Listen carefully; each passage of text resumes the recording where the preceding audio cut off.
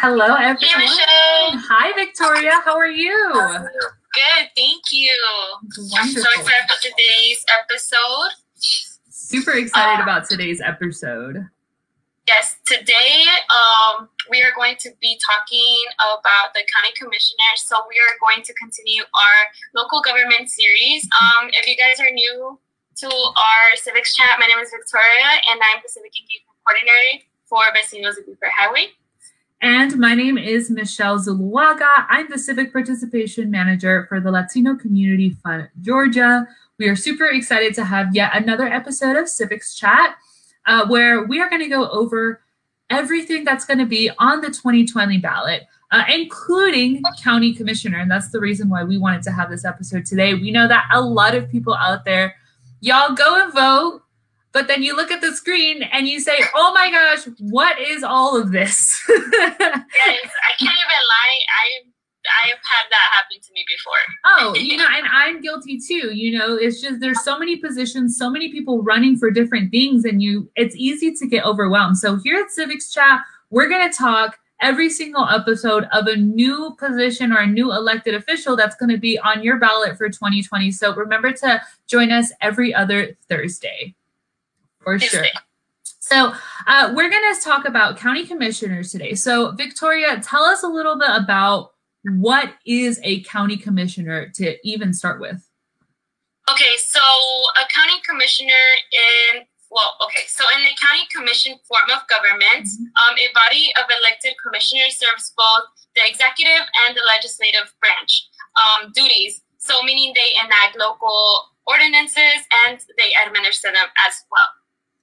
Wow. So like it's super so for what I'm understanding really is that county commissioners make sure that, you know, everything is going well and they kind of like oversee our executive and legislative bodies, you know, at a on a county level to make sure that everything's going good, that things are being enacted and they pretty much hold a pretty important position.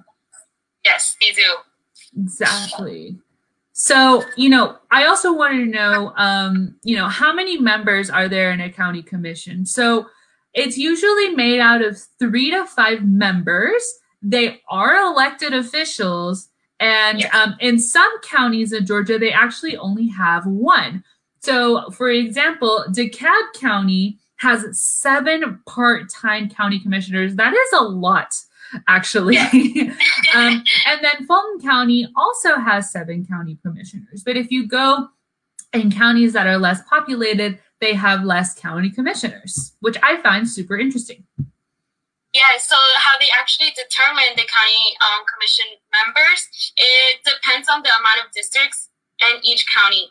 And then that, which is determined by the population. So this is another example of why you should fill out your census in order to get proper representation, um, proper amount of county commissioners. So if you need to fill out the census and you have not done it yet, uh, go to my2020census.gov.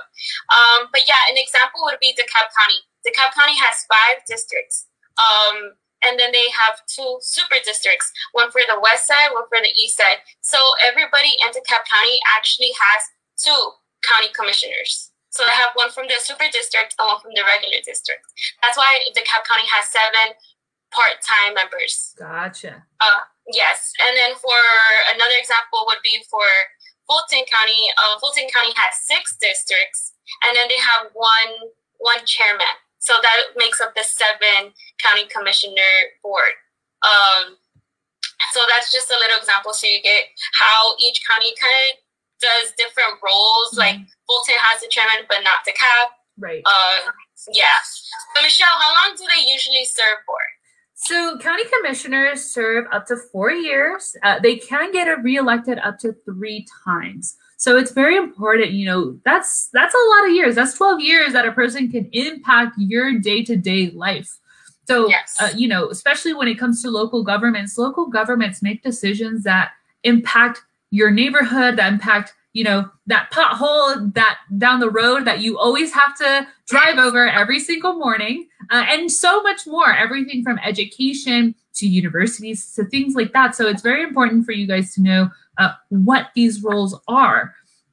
um, and how long they serve because 12 years is, or up to 12 years is a long time uh, for somebody to serve. So, um, Victoria, how are these people chosen? How are these elected officials chosen? So they are elected through the district and elections. So we elect them.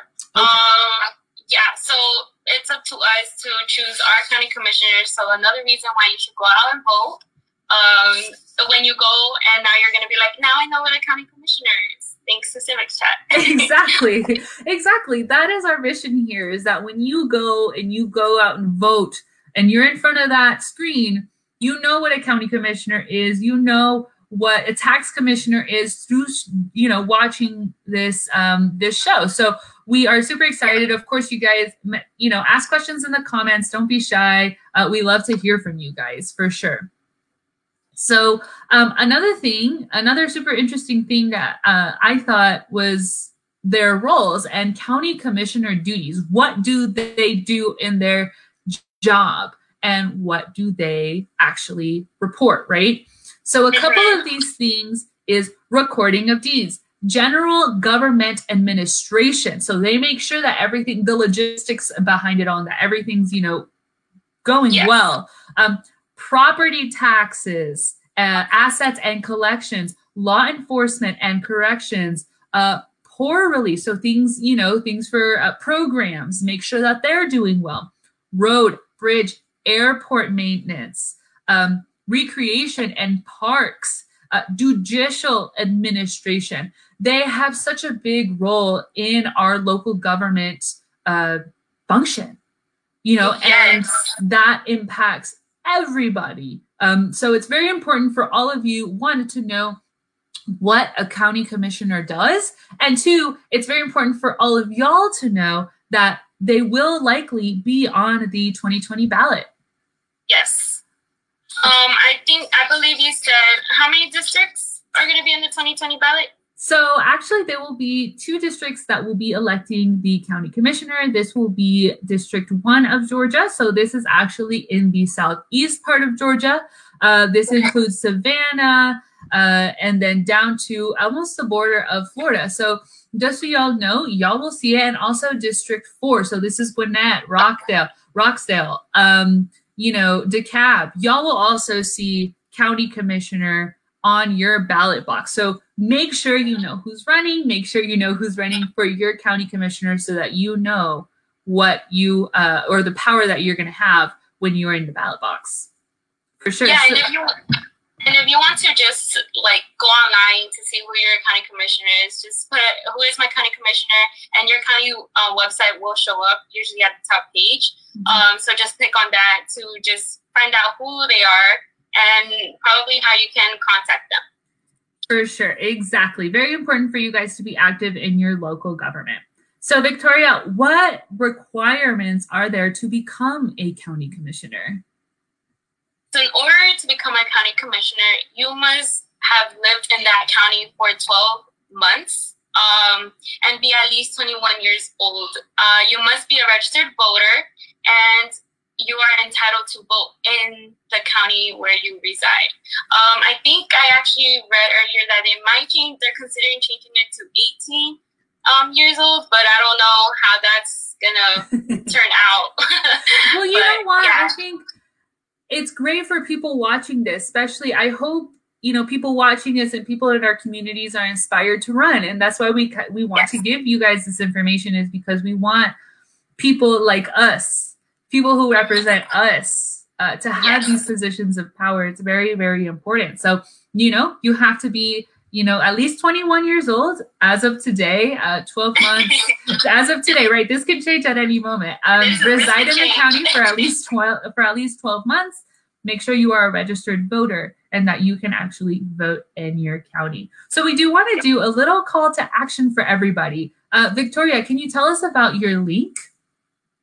Yes, so if you guys have not registered to vote and you need to, please use our link, um, our bit.ly link slash vecinos vote. It's all lowercase because it is um, case sensitive, and we will put the links in the comments. It's if you look in a comment that the link is right there. Also, the link to fill out your 2020 census if you haven't already.